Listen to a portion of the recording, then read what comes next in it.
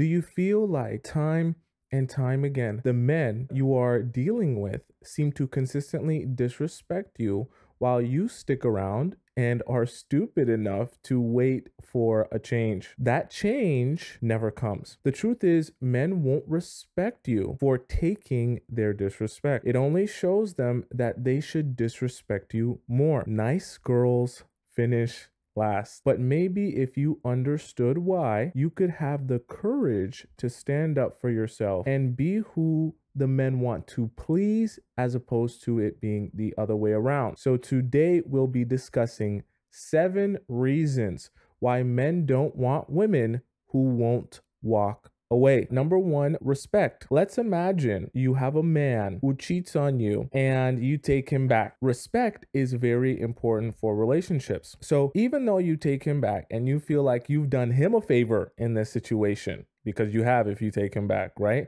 And you think, oh, well, you know, he's going to appreciate the fact that I took him back. He's going to appreciate the fact that I allowed him to come back into my life and continue this relationship despite him cheating on me. What's actually happening underneath the surface, unbeknownst to you, is that he has lost respect for you. And respect is such a huge part of why these men don't want you if you can't walk away. These men are not interested in women that they don't have to and don't need to respect. Now, obviously, I'm not saying that in every scenario where you take a guy back who cheats on you, that it's the end of the world.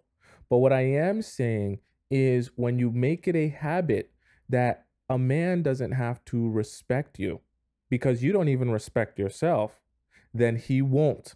And the moment he stops having to respect you because you don't demand that respect from him, that is the moment he begins looking elsewhere. Because the truth is, these men want to be in relationships where they have to and need to respect their partner, right? He has to see you as a whole individual, like a whole person with your own feelings and thoughts and opinions. That's good.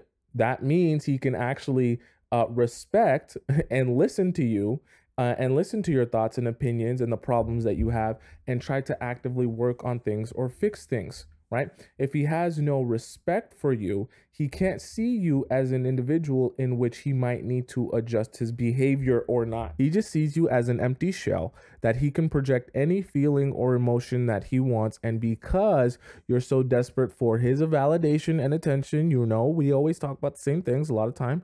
The, the validation and attention monster within you right, that wants to be loved so badly by anyone stops you from actually standing up for yourself. And then he stops seeing you as a whole individual. A man's respect for you is also determined by your own self image of yourself. Wherever your self esteem level is, however you view yourself, that's also going to determine whether or not he respects you or how much he respects you. So if you think of yourself very highly, you're going to carry yourself that way. You're going to project that outwardly. You're not going to deal with a lot of BS from not just him, but from people in general, right? He's going to absorb that. He's going to understand that. In the process of learning you and understanding you, he's going to get comprehend that and see that as that's who you are. You value yourself highly. You don't take BS from people. You're not allowing people to walk all over you. And subsequently, his respect for you will grow or increase based on his understanding of how you view yourself.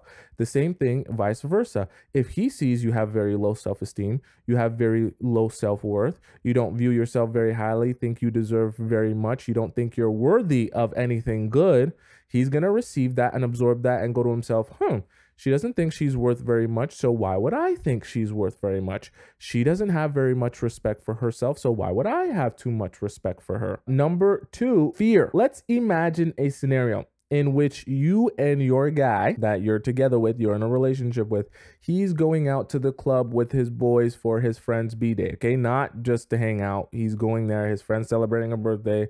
He got invited, so he's going there. Nothing shady in in in general. Okay, so he's going to the club to celebrate his friend's B day, who's single. Uh, a girl comes up to him. Let's just say you're with an attractive guy. I'm assuming you don't like ugly guys. Maybe some of you guys like ugly guys, but for the rest of you who like attractive guys, your man's interesting.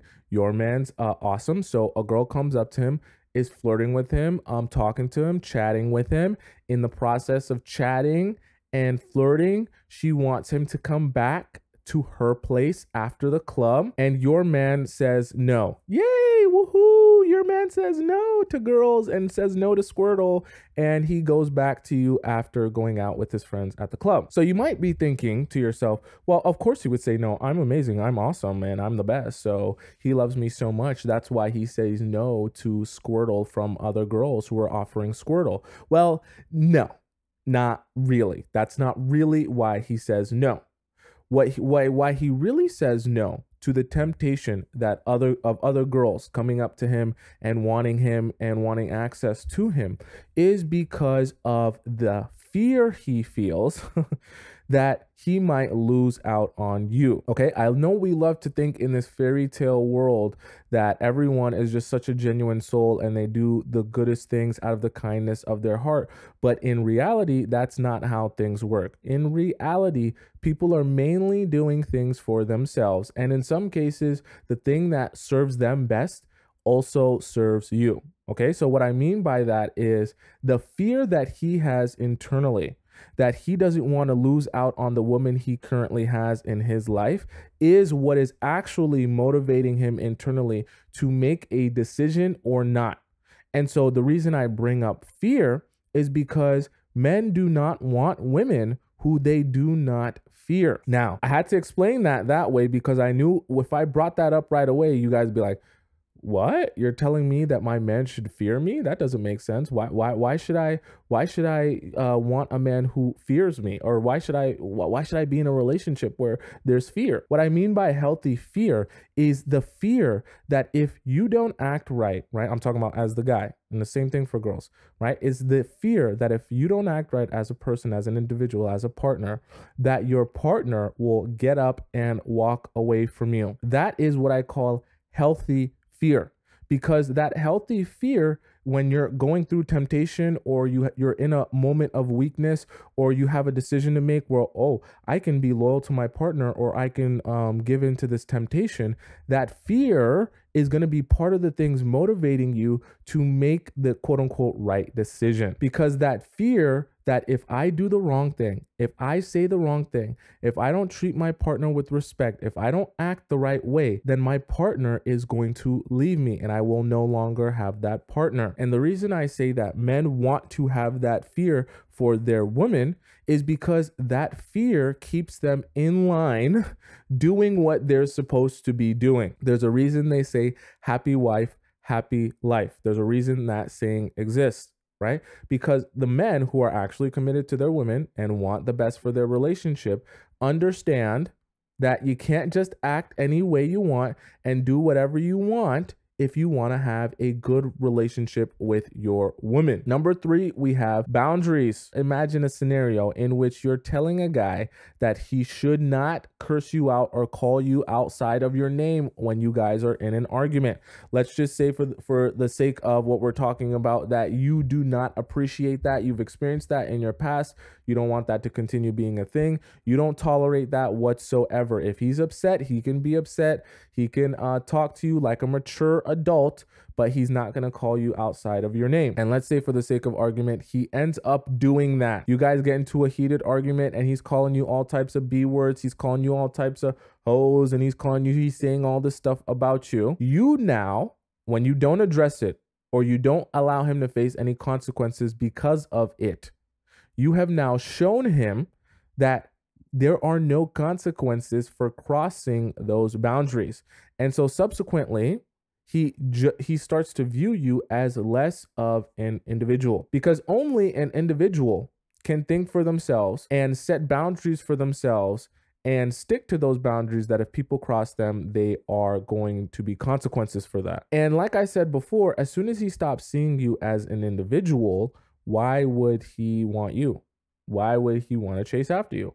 Why would he care about you why would he think about you? Once a man thinks it's a free for all, by free for all, I just mean he, everyone, he can do whatever he wants, he won't even be bothered to think of your needs or how to keep you happy. Because part of setting boundaries in the process of setting boundaries, the guys get to understanding, okay, you set these boundaries, and I have to figure out how to keep you happy throughout the relationship by not crossing those boundaries. And as you set those boundaries, he's figuring out how he's going to maneuver in the relationship and the things that he should not do or say or ways he should not act because those are not going to make you happy. Those are going to make you upset.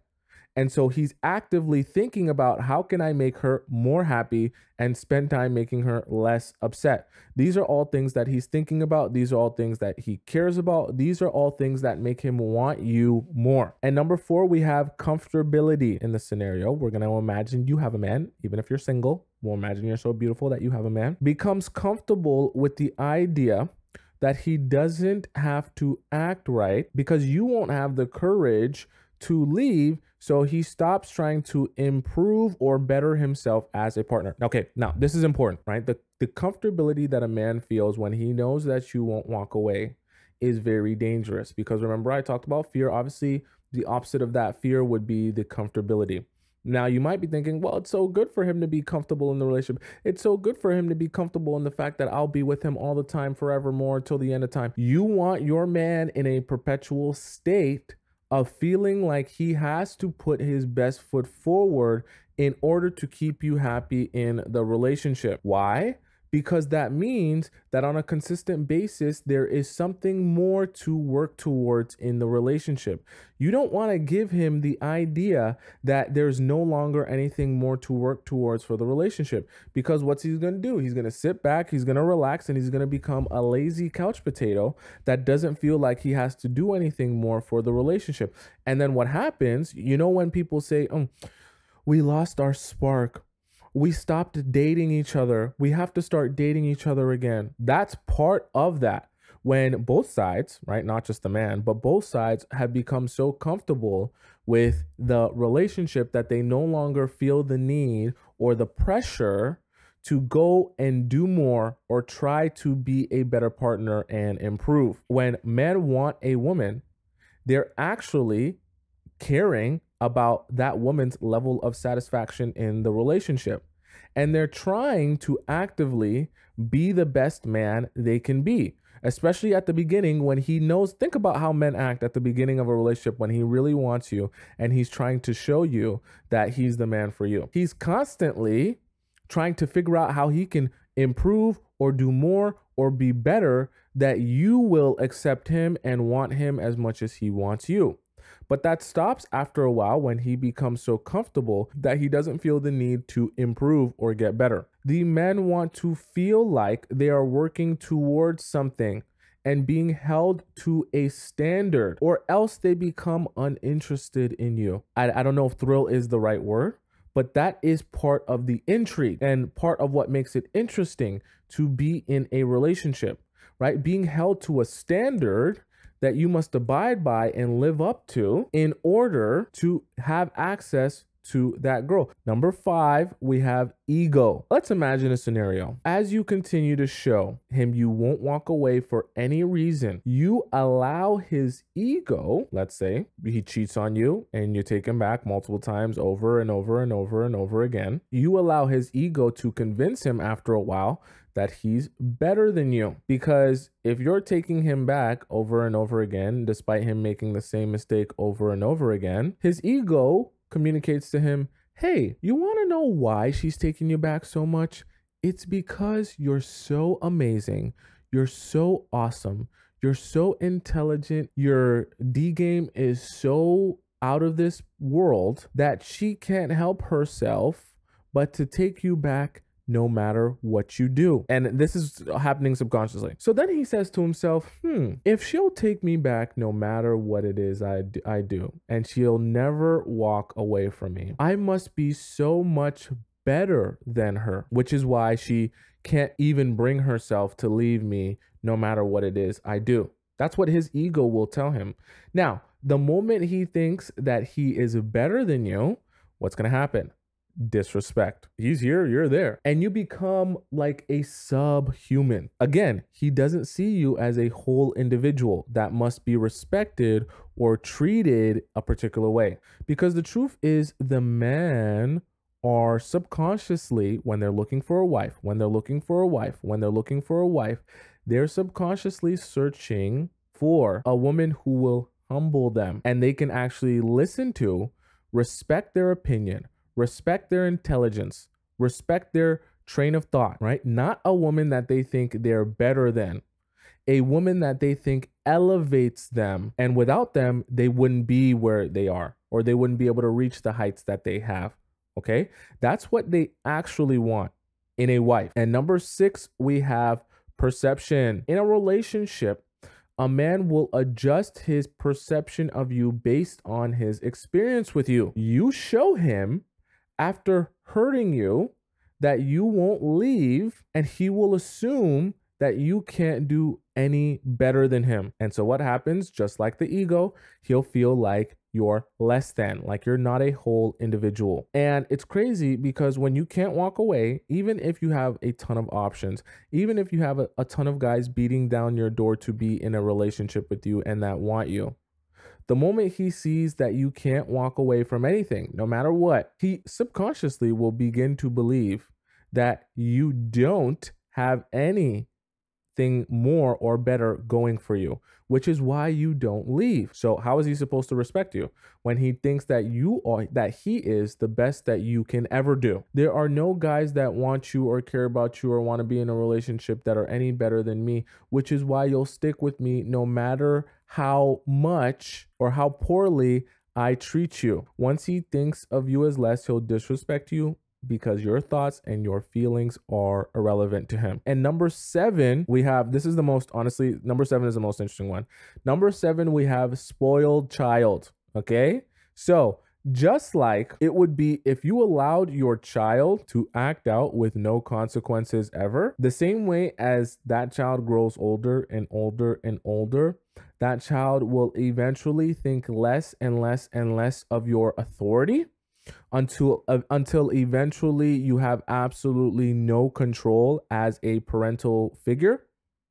Is the same way as you allow him to see that no matter what happens, no matter how he treats you, no matter how poorly, no matter how much disrespect, no matter how uh uh much how horrible he talks to you or does anything bad he does to you there are no consequences. You're never going to walk away. There won't even be the threat of you walking away. The acts are only going to get worse and worse and worse and more and more and more disrespectful. And as things get more and more disrespectful, you'll only have a tougher and tougher choice to to make because if you stay, there's only going to be more disrespect. And for those of you who are really desperate for the attention and validation, I know for some of you, it might be tough to actually leave. Without consequences to our bad actions, we can't understand what direction to move in. And I know for you, you're thinking, well, he should already know. He's a man. He's, he should already know how to treat me. He should already know how to, how to do the right thing. He should already know. He should already know. Why should I have to tell him? Why should I have to face, make him face consequence? But the truth is, we all need that structure and to understand consequences in order to understand what direction we want to move in. Also, remember that these men are going to test you because a lot of times girls will say they have boundaries. A lot of times girls will say they're standing on business. A lot of times girls will talk a big game and not actually be about anything.